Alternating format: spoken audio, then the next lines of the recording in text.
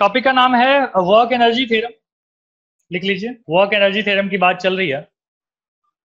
तो देखो work work done by all the forces is equal to क्या होता है? चेंज इन काइनेटिक एनर्जी क्या बोलेंगे? कि जैसे मान लो वो मैंने मैं लेके आया था दस जूल और अब मेरी एनर्जी हो गई है काइनेटिक एनर्जी पाँच जूल इसका मतलब है पाँच कहाँ गया? तो हम बोलेंगे पाँच का वर्क डन हो गया। है ना? तो इसका मतलब क्या हो गया कि वर्क डन हमारा कितना हुआ? पाँच हुआ।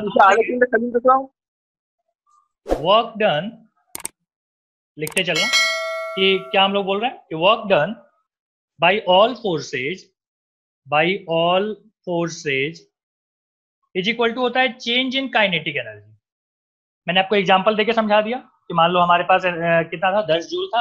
और अब मेरी एनर्जी बची है काइनेटिक एनर्जी पाँच जूल इसका मतलब पाँच कहाँ गया? तो पाँच का हमने काम कर लिया। ओके अब हम इसी बात को ना प्रूफ करना चाहते हैं कि भाई कैसे? तो हम बोलेंगे, देखो work done is equal to होता है integration of torque into theta क्योंकि वर्क डन का आपने एक और फॉर्मूला पढ़ा है फोर्स इनटू डिस्प्लेसमेंट तो एंगुलर वाली कहानी में फोर्स को हम क्या बोलते हैं? टॉर्क बोलते हैं और डिस्प्लेसमेंट को हम क्या बोलते हैं? डी थीटा बोलते हैं. तो work done is equal to क्या हो गया? Tau into d theta d theta क्यों ले रहा हूँ? क्योंकि छोटा छोटा थीटा को जोड़ के हम बनाएँगे कंप्लीट वर्क ठीक है? आपने बोला टॉर्क को हम ये लिख सकते हैं कि आई इन टू अल्फ़ा और साथ में क्या आ गया? डी थीटा फिर से इसका इंटीग्रेशन करेंगे। इंटीग्रेशन कहाँ से कहाँ तक होगा? तो हम बोलेंगे कि थीटा वन से लेके थीटा टू तक होगा। ये हो गया वर्क डन अच्छा। क्या हमारे पास आई जो है अच्छा हम बोलेंगे अल्फ़ा जो है, क्या मैं उसको d d omega by d t लिख सकता हूँ? आपने पढ़ा है ना कि alpha is equal to a is equal to क्या होता है? वेलोसिटी बाई टाइम होता है। अगर हमको बोलना है तो हम छोटा सा भी ले सकते हैं चेंज तो छोटा सा वेलोसिटी डिवाइडेड बाई छोटा सा टाइम क्या हम अल्फ़ा इज़ इक्वल टू इसी चीज़ को ऐसे लिखें? D D W by D T यहाँ पे लिख लें इज़ इक्वल टू क्या हो गया? डी थीटा फिर से हम बोल रहे हैं कि आई डी ओमेगा और d theta by d t क्या होता है? Displacement angular displacement divided by time क्या बनता है? तो ओमेगा बनता है. तो हम बोलेंगे आई ओमेगा डी ओमेगा और यहाँ पे लिमिट अब बदलेगा. तो ओमेगा क्या ले लेंगे? हम बोलेंगे इनिशियल ओमेगा और ओमेगा कौन सा? फाइन अब बताइए, इसका इंटीग्रेशन क्या होगा? हम बोलेंगे I omega square upon two आएगा और ओमेगा फाइनल माइनस यहाँ पे ओमेगा इनिशियल सो फाइनली आपके पास आ रहा है work done is equal to होगा कि वन बाई टू आई और यहाँ पे हो गया ओमेगा फाइनल का स्क्वायर माइनस ओमेगा इनिशियल का स्क्वायर अब मुझे बताइए, क्या आप इसको बोल सकते हैं कि हाफ़ आई ओमेगा फाइनल का square minus half I omega initial का स्क्वायर अब देखो ध्यान से हाफ़ आई ओमेगा स्क्वायर क्या होता है?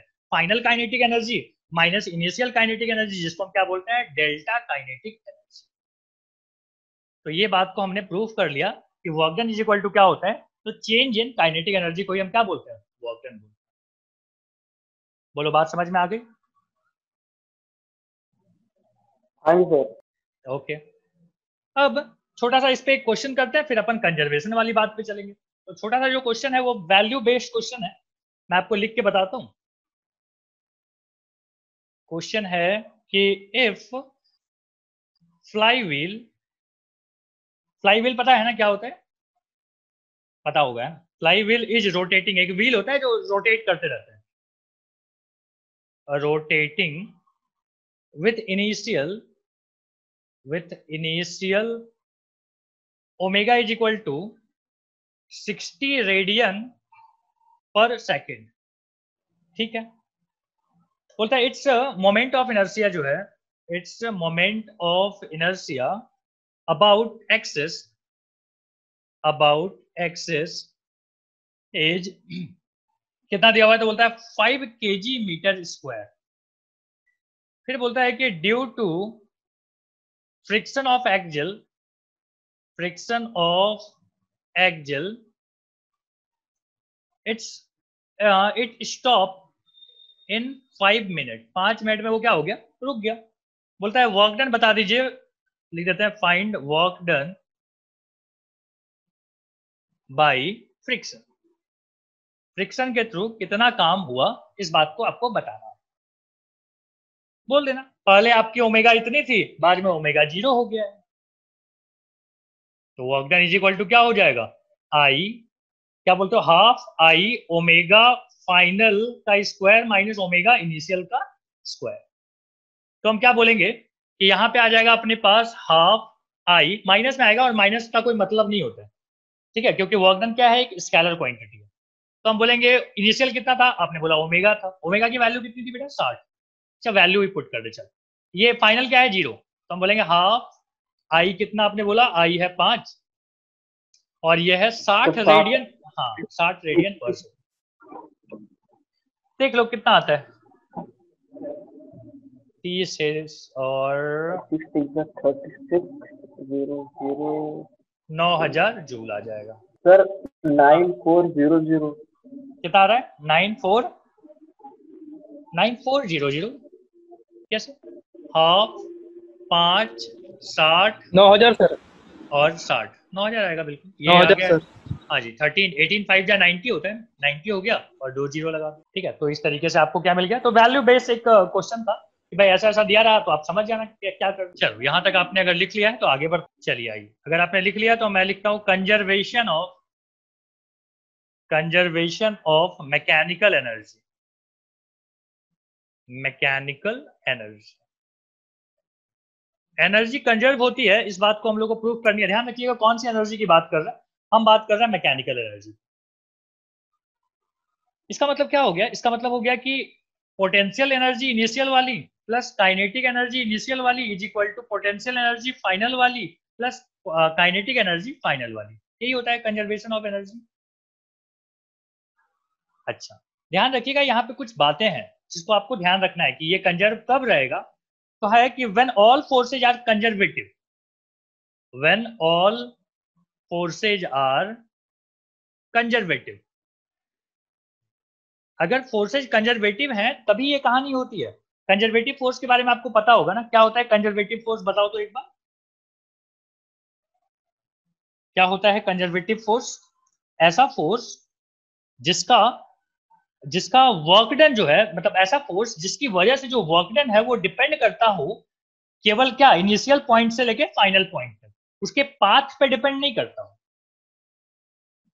इसको हम बोलते हैं कंजर्वेटिव फोर्स कौन कौन आता है इसमें? बहुत सारे सारे फोर्सेज ठीक है? बस आपने जो पढ़ा है ना एक उसमें फ्रिक्शनल फोर्स पढ़ा है ये कंजर्वेटिव नहीं होता है ठीक है? तो आपने जितने टाइप के फोर्सेज पढ़े लाइक आपने ग्रेविटी पढ़ा है आपने आ, और कौन सा पढ़ा है? इलेक्ट्रोस्टैट पढ़ लिया आपने पढ़ा है ग्रेविटेशनल ग्रेविटी तो लिख दिया। और कौन सा था एक अपन स्प्रिंग फोर्स पढ़े थे। टेंशन वाला फोर्स पढ़ा था। ये सब कंजर्वेटिव फोर्स होता है। कौन नहीं होता? वो मैंने आपको बता ही दिया कि नॉन कंजर्वेटिव में कौन सा आ गया? कंजर्वेटिव में आ गया कौन सा? तो हम बोलेंगे फ्रिक्शनल और एक चीज़ ध्यान रखिएगा, ये एक्सटर्नल फोर्स यहाँ पे कोई नहीं होना चाहिए। External force should be zero external force कैसा होना चाहिए? ज़ीरो बाहर से कोई फोर्स नहीं लगना चाहिए। नहीं तो उसकी वजह से जो वर्क डन है वो डिस्टर्ब करेगा। तो इसका मतलब क्या हो गया? Work done by external force should be zero अगर ये सब कहानी होगी, तभी ये कहानी वैलिड होगा। हमारे पास एक रॉड है। रॉड का मास वही एम और लेंथ कितनी है? एल है। ठीक है? और क्या बोलेंगे? तो बोलते हैं कि इसको हम रिलीज़ कर दिए गिरने के लिए अलाउ किए ठीक है? अब ये क्या होगा? नीचे गिर जाएगा। नीचे गिरेगा मतलब कैसा पोजीशन हो जाएगा इसका? ऐसा ऐसा बन जाएगा, यहाँ पे आ जाएगा।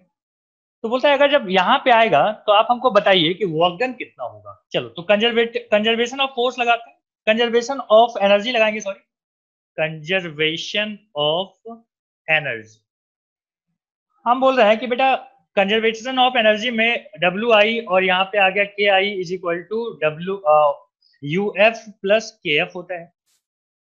आपने बोला कि हम तो स्टार्टिंग में इसको पकड़ के रखे थे, पकड़ के रखे थे।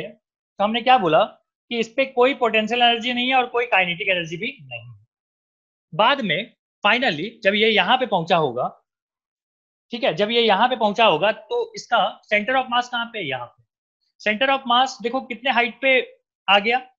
एल बाई टू हाइट पे आ गया। आप देख पा रहे हो? ये मान लीजिए ये इनिशियल पॉइंट था, अब इसकी हाइट कितनी हो गई है? ये हाइट है। एल बाई टू यहाँ से यहाँ तक कितनी हाइट है? एल बाई टू तो हम बोल रहे हैं कि फॉर्मूला होता है एम जी एच एच मतलब एल बाई टू अच्छा। दूसरा चीज़ है कि इसकी काइनेटिक एनर्जी कितनी होगी? तो हम बोलेंगे इसकी अच्छा ध्यान रखिएगा, ये जो एल है बेटा, ये जो एल है, क्या ये नीचे है ना? जो जो रेफरेंस पॉइंट था उससे नीचे है। नीचे है तो नीचे वाली हाइट को हम क्या बोलते हैं? माइनस एल बाई टू बोलते हैं। अगर ये ऊपर होता तो एल बाई टू बोल तो माइनस एल बाई टू लिखिएगा। तो हमने यहाँ पे माइनस लिख दिया। काइनेटिक एनर्जी का फॉर्मूला वही होता है हाफ़ आई ओमेगा स्क्वायर अब आप यहाँ से निकाल लो। यहाँ से ओमेगा की वैल्यू आपसे बोला था निकालने के लिए बोलता है फाइंड ओमेगा. क्या पूछा था आपसे? ओमेगा कितना होगा? तो चलिए देखते हैं। आपने बोला कि यहाँ से ऐसे होगा ये इधर मूव कर जाएगा तो हम बोलेंगे m g l by two और हाफ़ आई आई कितना होगा? तो होता है बताओ तो रॉड का। रॉड का अगर आप एक पॉइंट से यहाँ से घुमा रहे हो तो इनर्सिया कितना होता है? कल ही बताया था। M l square by three हाँ। ओमेगा स्क्वायर तो एम एम यहाँ से एक कट जाएगा। एल भी शायद एक कट जाएगा। अब आप देख लो कि ओमेगा की वैल्यू कितनी आती है। टू टू भी कट कर देते हैं ठीक है? टू टू भी कट हो गया। तो omega is equal to omega square is equal to पहले लिख दो। क्या आ जाएगा? तो हम बोलेंगे three g three g by l हाँ three g upon l so omega is equal to आ जाएगा root of three g upon l ये किसकी वैल्यू आ गई? ओमेगा की। आपसे ओमेगा पूछा था। मान लो आपसे वर्क डन पूछ लिया होता तो क्या बताते? वर्क डन बता देते कि भाई इनिशियली काइनेटिक एनर्जी ज़ीरो थी, बाद में kinetic energy half I omega square हो गया है। तो work done is equal to भी क्या आ गया? हाफ़ आई ओमेगा स्क्वायर तब तक मैं डायग्राम वगैरह बनाता हूँ।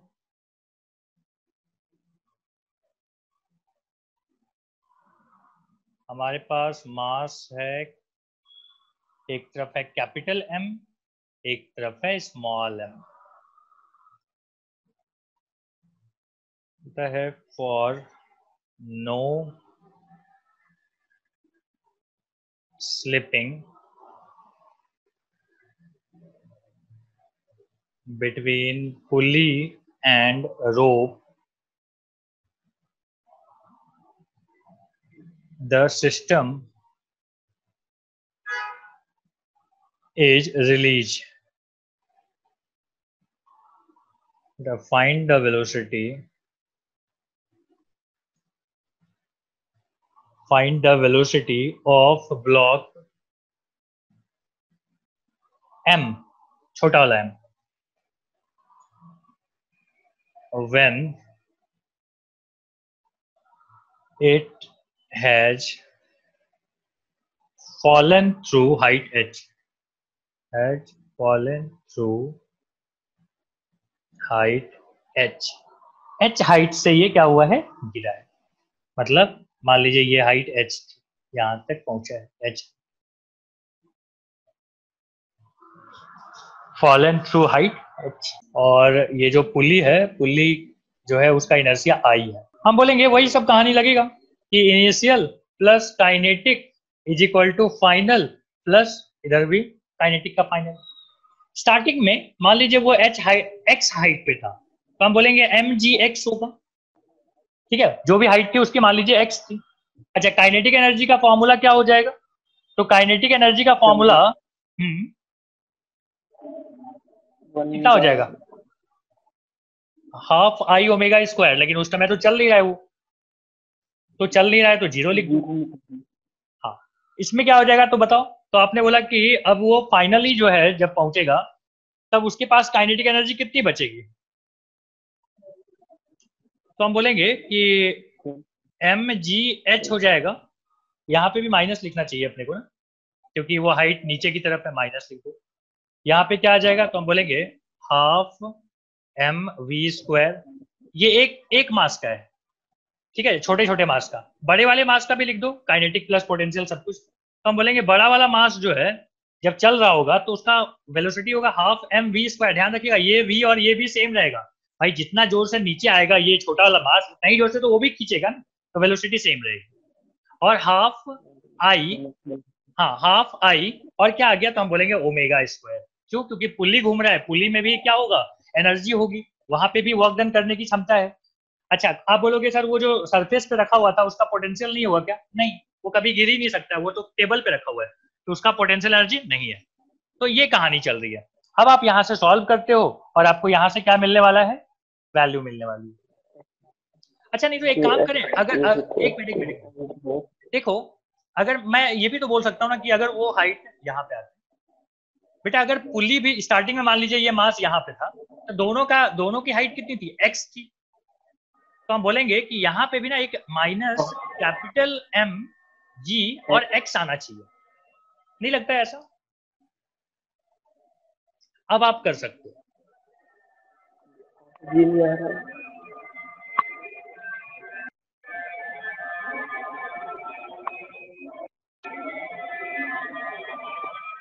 यहाँ से आपको कैलकुलेट करना है ध्यान रखिएगा। ठीक है? चलो करते हैं कैलकुलेट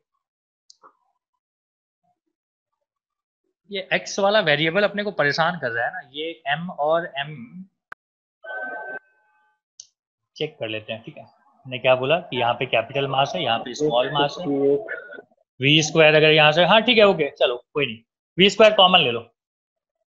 मतलब यहाँ से बाकी को इधर भेजो।